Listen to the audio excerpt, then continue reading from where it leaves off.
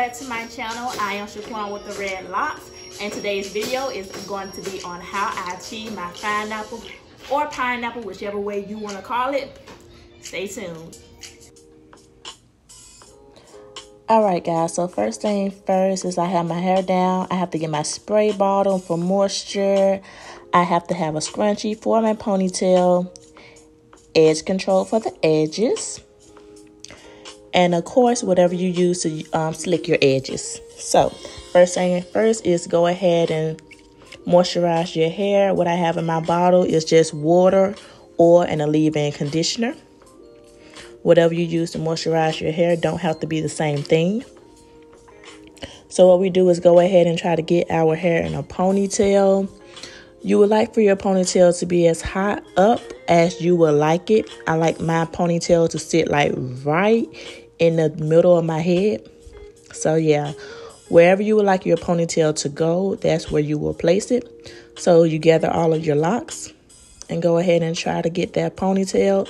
As you can see here, I am kind of struggling, but that's okay. Slick back that hair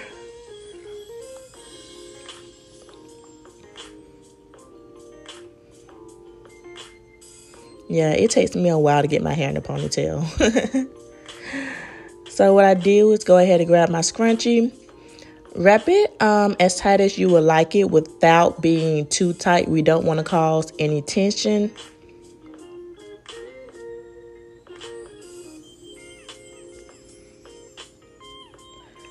Yeah, I'm so mad that my scrunchie broke because I stole it from my sister and that's the like the hugest one that she had and I didn't have any more. So I've been hanging on to that scrunchie for the longest.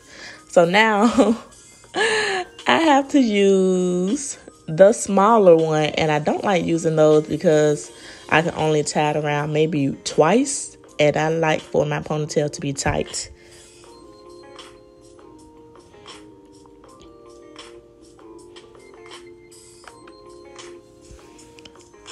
So Get all of those locks in the ponytail. As y'all can see, I'm struggling with that smaller scrunchie. But we are going to make it work.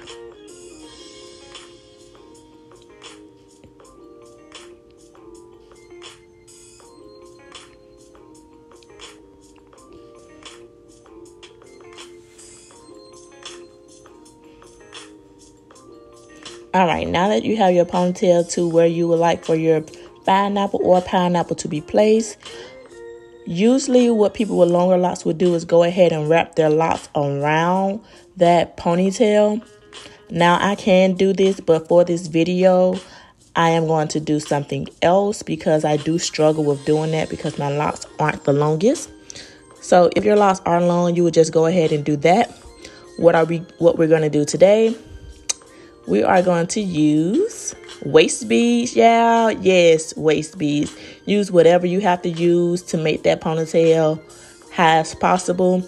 Um, normally, I would use one of those gold strings, glittery strings uh, from the local beauty supply store, but I couldn't find mine, so we're improvising. So, yes, waist beads, y'all. Have to use what we got to finesse, and you will never know. So now that your waist beads are on, those are like five of them. So just tie them around, slide your beads up to get that pineapple effect.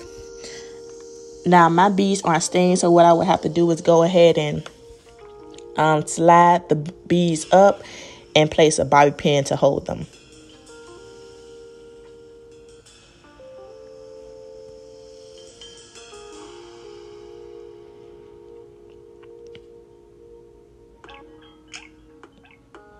All right. Gonna place another bobby pin just for security.